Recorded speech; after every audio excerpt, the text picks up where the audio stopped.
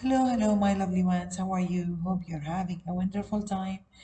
In this video, we are going to learn how to create a simple movie, a simple video.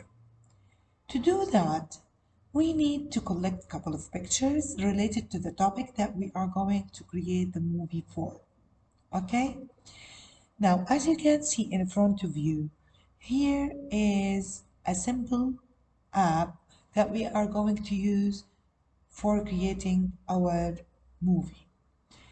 Now, here we have the images that we are going to use.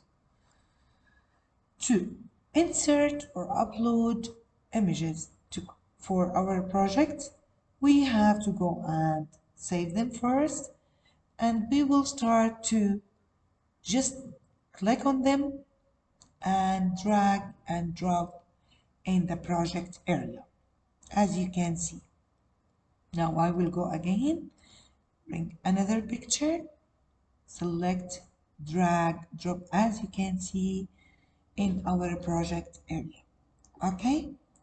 Now after this what we have to do we will click on this picture the one that we want to use in our movie and just as you can see it will go to this frame area or I can click drag and drop